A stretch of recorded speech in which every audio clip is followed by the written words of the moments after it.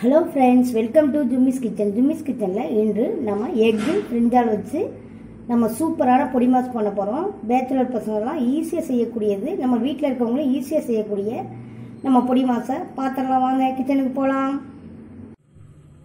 முட்டை கத்திரிக்காயில் பொடி மாஸ் பண்ணிடலாம் நம்ம. இப்போ பாருங்கள் கடாயில் ஸ்டவ்வில் கடாய் வச்சுட்டு தேவையான எண்ணெய் ரெண்டு ஸ்பூன் போட்டுக்கலாம்.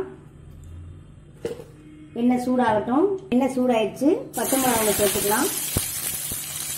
கத்திரிக்காய் ஒரு கத்திரிக்காய் கட் பண்ணி பொடியாக கட் பண்ணி வச்சுருக்கேன். கத்திரிக்காயை சேர்த்துடலாம். சேர்த்து நல்லா வதக்கிடலாம். இது ரொம்ப டேஸ்ட்டாக இருக்கும் இந்த பொடி மாசு எண்ணெயிலே நல்லா வதங்கட்டும். கத்திரிக்காய் நல்லா வதங்கணும். இதுக்கு தண்ணியெல்லாம் சேர்க்க வேண்டியதில்லை.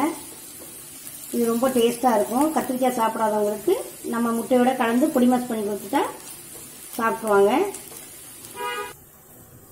நல்லா கத்திரிக்காயும் பச்சை மிளகாயும் நல்லா வதங்கிச்சு. ஒரு பெரிய வெங்காயம் இப்போ நம்ம கட் பண்ணி இதில் போட்டுக்கலாம். பொடியாக கட் பண்ண வெங்காயம்.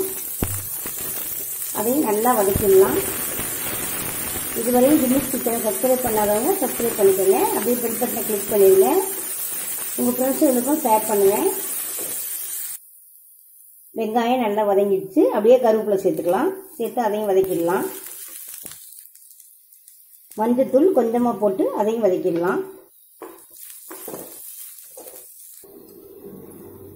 கால் ஸ்பூன் கரம் மசாலா சேர்த்துக்கலாம். சேர்த்து அதையும் நம்ம வதக்கிடலாம். அப்படியே மிளகு பொடி சேர்த்துடலாம்.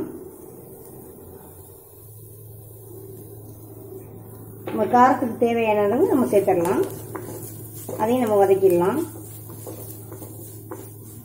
சம்மரில் காரம் அதிகம் சேர்க்க வேண்டியதில்லை. கொஞ்சம் கம்மியாக சாப்பிட்டா நம்ம உடம்புக்கு ரொம்ப நல்லது.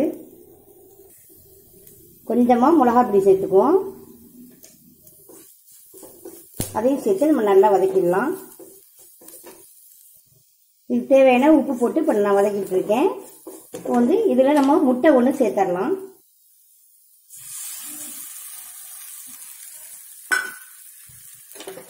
இது ரொம்ப டேஸ்ட்டாக இருக்கும். நம்ம எல்லா குழம்புக்குமே சேர்த்து சாப்பிட்லாம். ரொம்ப சுவையாக இருக்கும். குழந்தைங்களுக்குலாம் கத்திரிக்காய் பிடிச்சதுனால இதில் நம்ம கத்திரிக்காய் சேர்த்துருக்கோம். ரொம்ப நல்லா இருக்கும் இந்த பொடி மாசு மல்லி இலை போட்டுடலாம் ஒரு கத்திரிக்காய்க்கு ஒரு முட்டை ஒரு வெங்காயம் தான் நம்ம இதை சேர்த்துருக்கோம். பாருங்கள் ரொம்ப ரெடி ஆயிடுச்சு. ரொம்ப சூப்பரான பொடி மாசு இது. ரொம்ப டேஸ்ட்டாக நல்லாயிருக்கும் நம்ம வித்தியாசமாக இப்படி செஞ்சு பார்க்கலாம். எங்கள் வீடியோஸ் பார்க்குற அனைவருக்கும் ரொம்ப தேங்க்ஸுங்க